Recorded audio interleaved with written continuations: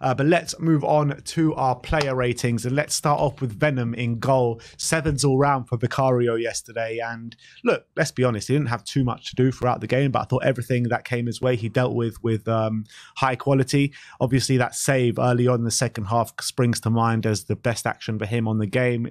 Um, a really world class save, in my opinion off the deflection off Romero.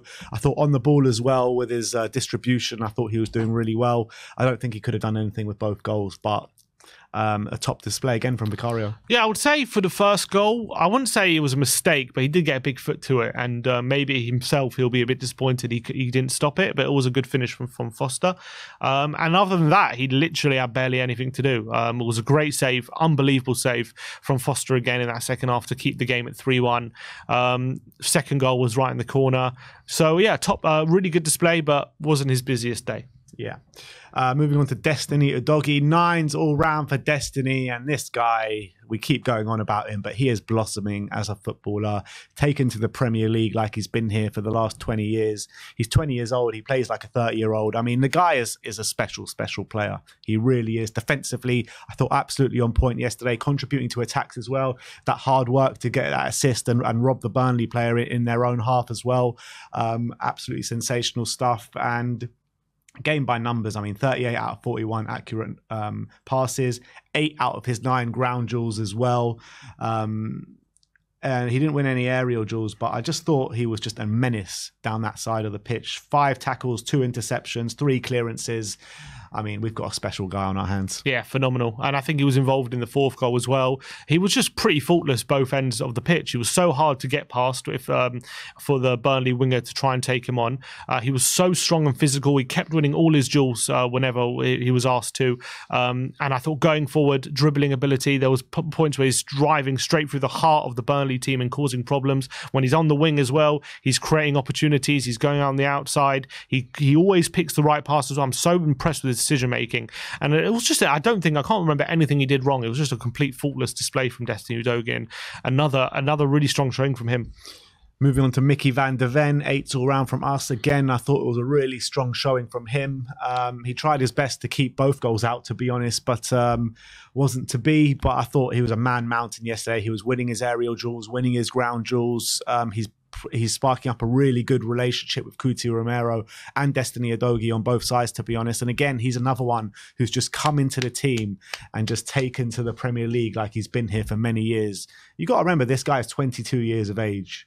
22 years of age, just coming straight into the team, and and it, and like I keep saying, it's like he's been here for years, mm. and everything he does, he does with a touch of class. Yeah, and if you remember as well, for the for the fourth goal, he spins away from the defender um, um, um, in the build up for the fourth goal, and just takes on another one, and it lays it off to Udogie, gives it to Solomon, and we end up going um, going and scoring. And he on the ball, he's just uh, he's just he has finesse, and he just every does everything with the touch of class. I'm so impressed with him. The only negatives I will say the reason I didn't give him as high as Romero, which we'll see in a bit, is because um, for the first goal, he was uh, Foster was kind of his man. For the chance which um, Foster went through one on one, he does kind of get run runs around the back of Van der Ven and he gets caught on his heels a bit. And for the um, for last goal as well, he was desperately unlucky, but he'll he'll probably feel like he should have stopped it because he actually gets there first, but it goes under his leg, so it was really unfortunate. But on another day, he probably makes the block, so that that was um, unfortunate for him. But I thought by and large, again, another top top display from Van der Ven. He just seems like an amazing signing. Yeah, and alongside him, Cuti Romero really taking up that leadership mantle of the team. Nines all round from us, and he has started this season on fire. Cuti Romero. I think we've probably seen four displays from Romero better than any display that we saw last season from him. And we kept saying, you put a good partner next to him, you'll see Romero flourish. And that is exactly what we're seeing right now. He was at his aggressive best, but he's towing the line between being aggressive and being over aggressive. It's a, I saw a mad stat yesterday that neither him or Van der Ven have made a foul yet this season. Wow, is that right? How mad is Romero that? hasn't made a foul yet this Apparently season. so. That's crazy if that's true. It's mental. It's absolutely mental. Uh, two tackles, two block shots, three clearances. Um, 68 of his 74 passes done, five of his six accurate long balls as well. Three, one, three out of four ground duels, four out of four aerial duels, and that is what you call a pure dominant display from our vice captain Cuti Romero. And and and how can we not talk about the goal as well? I mean, a real humdinger from outside the box, something that you just don't associate with Cuti Romero, and it was top top bins. Yeah, top performance from a top centre back. Honestly, he he was more he was absolutely flawless in this game. He, he's just he's really starting to master that controlled aggression, which maybe he struggled with um, for his first couple seasons at Spurs, where he was just flying into tackles and, and and causing a lot of risk. But I thought yesterday and and this whole season he's been so good and he's been so solid and he's uh, not put a foot wrong. And on the ball, he's been a touch of class and he's been playing the ball, uh, playing really quality passes, and he showed again his quality with that goal. That that doesn't come about by luck. Like you've got to have super technical ability, and um, he showed that yesterday with the goal, and he's been showing that all season with his ability in build-up play. And I'm so happy he's fulfilling his potential as like a consistently uh, top centre back because there was people doubting him, saying he's too rash and you know he's not that good. But we everyone who saw the World Cup and who has seen him in when he has been playing well, this guy is a top top centre back, and now he's got a top uh, a, a top partner with him. We're seeing just consistent amazing performances from him. Yeah, moving on to Pedro Porro, eight all round from Pedro. Um, I was worried at the start of the game after seeing him getting burned um, from the Burnley uh, winger, the 18 year old kid. I thought he was sensational, by the way, at times. But um, I thought after that, he uh, he dusted himself off, grew into the game, created two key chances for us. And those two, both of those two key chances were just at, of the absolute utmost quality. First one dinked over the top to Heung-min Son, and he does the one-two with Manor Solomon, and uh, we get our first goal. And the other one was just, oh, that pass, man. You can you can hang that pass up in in a museum or something and just watch it time and time again because every time you watch it, it just seems to get better and better and better. Heung-min Son just didn't have to break stride at all to pick up that ball. And going forward, you're just seeing the value of uh, Pedro Porro now consistently. And we all thought, you know, uh, at the start of the season, Emerson got the shirt. He was the one that started the first game, and we were like, you know, he put in a decent display, Emerson, on the first day. But since Porro's come in in that second game, we just haven't looked back, and he's just provides a consistent quality for us. Yeah, and those two passes were phenomenal for the first goal and the fifth goal, just on a plate for Sonny, like right into his path. And that is as well, those two passes are what gave us that threat in behind to allow us to relieve the pressure off that Burnley press. And if it wasn't for those for that quality from Porro, it would have been very difficult for us to take control back of that game because Burnley were just hounding us, and it was very difficult for at times, especially in the early exchanges, for Tottenham to, to have the build up and play through Burnley's press. But as soon as that long ball played over the top, all of a sudden Burnley realised, oh shit, we actually have to manage that situation because if we if we allow someone with Porro that quality to pass in behind, and if we're not in position, they're going to be getting a field day. So it allowed Burnley to drop back a bit, and then then that allowed Tottenham to take control. So Porro's quality was actually super pivotal when it came to winning that game yesterday, and and I'm, I'm I know he's got it he's got it in him to do that. We've seen it since he's come to Spurs. His quality on the ball with his passing ability, and again he showed it yesterday. was wasn't great for the first goal, but that was thankfully for him that was the only bad moment, and he's being putting in some top um, consistent displays now. Porro. Absolutely. Let's move on to the midfield. Let's talk about Yves Bissouma. Eights all round from us. I thought in the first half, I did expect a bit more from him, a few sloppy moments um, and a few careless moments. But I thought after that, he was central to what we were doing in that second half. He was at his dribbling best. They just couldn't get the ball off him. I just love those moments where he picks up the ball. You just don't know if he's going to go right, he's going to go left, he's going to go through the middle, he's going to go. I mean, you just don't know what he's going to do. And he's such a hard player to read. And we're so lucky to have someone like him. I think he's the perfect player to play in that position in an Ange system because he's just so unpredictable and he does things with such high quality as well. You're talking about uh, his tenacity as well. Eight ground duels, uh, one out of the 16, two dribble attempts out of his three that he won, uh, one long ball out of his three.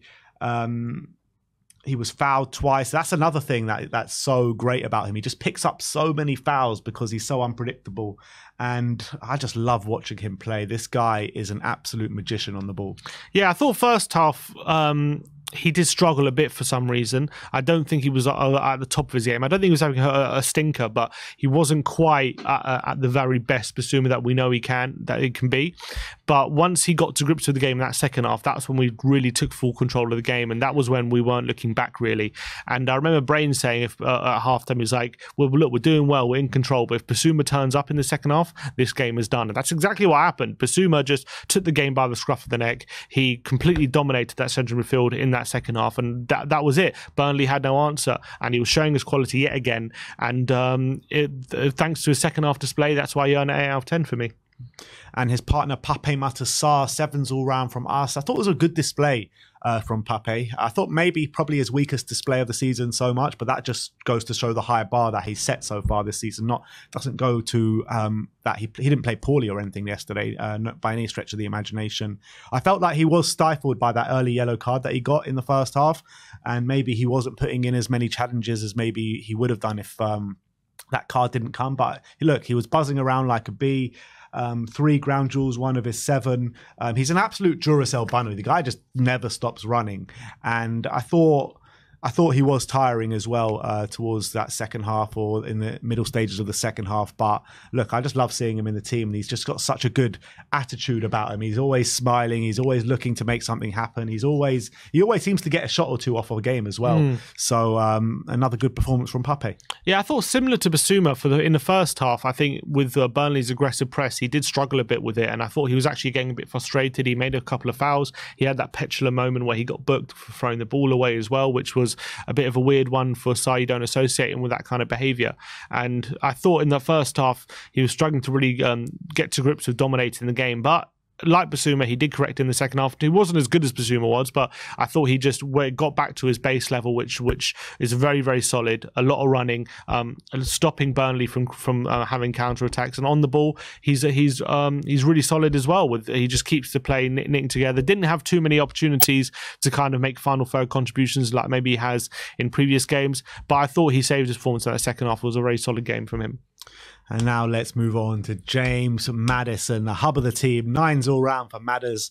Another absolutely sensational display from him. And I thought it was probably the best of the lot yesterday from what he's shown in the Spurs shirt. That is astonishing to think about because he's been putting in unbelievable performances week in, week out for us. Everything about him his defensive defensive display on point uh, with the amount of times he aggressively wins the ball back and starts attacks for us. In terms of going forward, I mean, he's always just there. He's always floating between the lines. He nobody can get the ball off him with his dribbling ability, especially inside the box as well. You know, it's so hard for defenders to make a challenge with how quick his feet is because you know one wrong move and it's a penalty. And I just felt like everything that we were doing was going through him. An unbelievable goal with the finish, which which um, they did get the warning sign in the first half, which they let him have that shot in the first half. Five shots all round in the day as well. Three of his three long balls were accurate.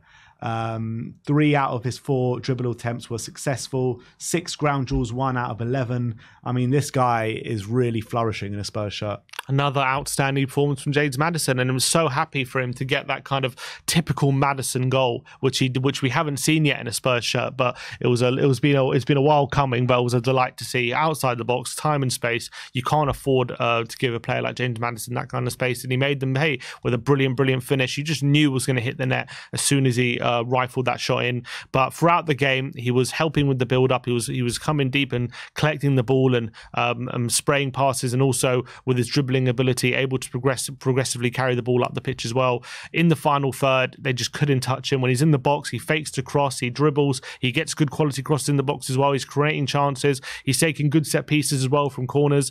Uh, he had a bit of uh, banter with the with the Burnley fans. They were giving him a bit of grief. Then Romero scores and he cupped his ears to the fans as well. So he has that side to his game. Um, I thought was just another top display from James Maddison, and he's just been uh, again, as I've been saying, a few players just hasn't had a bad game this season, and this was another phenomenal one. And moving on to Decky, sevens all round from Dejan Kulusevski. And I thought I thought he was good, but I did expect a bit more from Kulusevski, to be honest. I don't think he was on the level of what Son and, and Manor showed for us on the day. I thought he was getting in good positions, beating his man, uh, but after he does that, um, I kind of got a bit frustrated with him, and he doesn't pick up the right options. And I think his decision making has somehow diminished for some reason. But what I was really impressed with Kulusevski yesterday was his off the ball work. I think that he consistently wins the ball back for us high up the pitch. Uh, you see it with the two tackles uh, yesterday, two interceptions as well. Um, three of his uh, seven dribble attempts, three key passes actually on the day, which I didn't realize.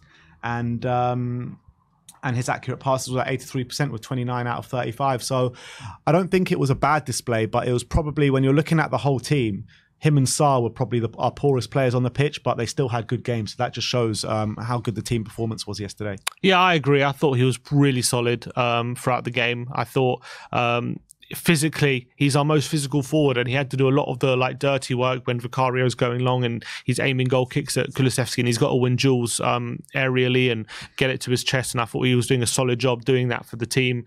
Um, and I thought when he was on the ball his dribbling ability was decent. He was really unlucky not to get an assist when he plays a through ball to Son and Son takes a bad touch uh, uncharacteristically and, and the chance is gone.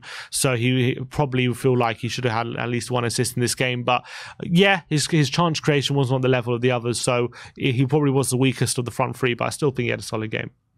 Manor Solomon on the left. Sim gives him a nine. I gave him an eight. And look, he was uh, unplayable at times in that first half. He really was so nimble on his feet, so hard to get the ball off. And it's something I think that we've been missing on that left hand side, maybe while Sonny's been there and Richarlison's been in the middle. And um, he provided for the team massively yesterday. Two assists on the day, one with a really nice um, 1 2 with Heung-Min Son, the other one uh, just played the ball so calmly into Heung-Min Son's path um, to get the goal in the second half. But I mean, I don't think anyone probably predict could have predicted how good he could he was going to be yesterday, and um, his first start in the Premier League. And I think he's uh, earned the right to start the next game now. Yeah, it was a massive opportunity, a massive opportunity for Solomon yesterday getting a start because bringing in Brennan Johnson, he hasn't uh, on the right, he hasn't really been fancied so far in the Premier League with the game time with Ange. So when he was given an opportunity to start yesterday and he took it with both hands, I felt two really great assists. The timing of the passes, very calmly picking the right decisions both times as well. Good presence of mind, and I thought he was a threat down the left hand side throughout the whole of the of the of the time he was on the pitch. His dribbling ability was a was a big news I think got completed three of his five dribbles throughout the game as well. Um, and I'm very happy for him that he had a big opportunity to show that he deserves a place in the team, and he showed why um, we signed him and why he um, uh, why Ange trusted him yesterday from the start. And adding that pace and dribbling to the ability to the front line really helped creating the space and open and drawing players in and creating space for others as well. So really good um, performance from Manor Solomon. So I'm very happy for him. Exactly, the prophet King Solomon has arrived at the Tottenham Hotspur Stadium. But let's move on to the best till last. Heung-min Son, our captain, tens all all round for Sonny Boy. And every single goal he scored yesterday was just oozed quality, oozed class um, of the highest degree. Um, and he basically done in 90 minutes yesterday, or even 60 minutes yesterday, really, what um, what Richard, what we've been seeing to be missing from Richarlison all season in the first three games. So I think Richarlison's got to be looking at being like, oh God, what am I in for now? Uh, with Sonny really performing like he did. But he didn't actually have that many touches on the ball yesterday. I think 27 touches on the day with three goals, one key pass. Everything that he did just was of the highest degree, of the highest quality. And I think he's taking he's taking on that leadership mantle on the team. He's really wearing that armband with pride and, and leading by example. And he got the goals yesterday to show for it as well. So three um, goals on the day, and he's our top goal scorer in the season. Yeah, phenomenal performance, I thought, from him and Son. It just wasn't just the goals that led to his performance being fantastic. I thought it was all general play, his little touches, his little layoffs um, uh, as well, being part of the team, allowing us to keep possession were absolutely fantastic. I thought each three finishes, we know what he's capable of in front of goal, and I think he just um, gave us more evidence of that again. He just proved it again how clinical he is and how calm he is in front of goal with those with that ability to just calmly slot home all those all those finishes. One of them being a first time finish, one of them a little dink, the other one running from goal when he's got a bit more time to think about it. So three different situations, but he come on trumps as well. Left foot, right foot doesn't really make a difference for him. Um, he know we know how two footed he is. Um, but I think for me, why Richarlison was shown up was just because his contribution to the team wasn't just the goals, and that's what Son is delivering. He's, got, he's just got that bit of quality about him, which Richarlison is lacking right now. And yes, I think there'll be bigger tests for Son. I'm sure there'll be teams which don't leave as much space in behind as Burnley did. So it'll be interesting to see him in the nine in those kind of games. But you, look, you could only play what's in front of you. And yesterday, he absolutely demolished them.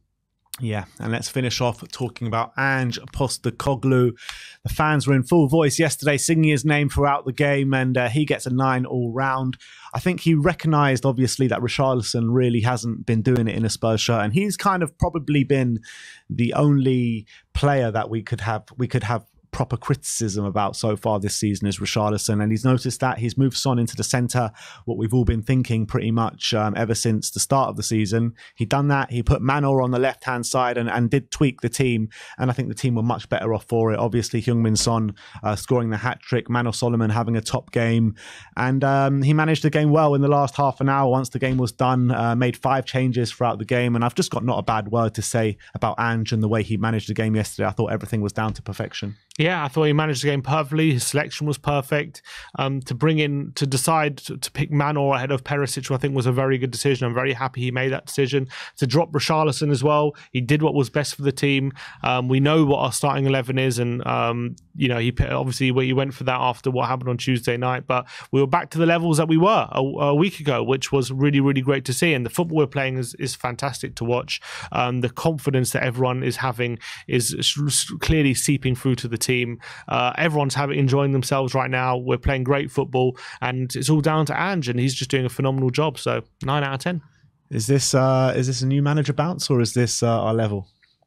I don't. I don't think it's going to be like this the whole season. I do think it's a bit more than a new manager bounce. So I think this is. I think this is what we're going. What we're building towards to be consistently like this. And I, am delighted what we're seeing. I'm not. I don't think we're going to be at this level for the whole season, especially when we come up against better opposition and maybe we get injuries and stuff. But I do think it's definitely more than a new manager bounce. I do think we're we're not performing over our level in my opinion. I think we're capable of what we're showing consistently, but I don't think we are going to be consistent throughout this whole season just yet.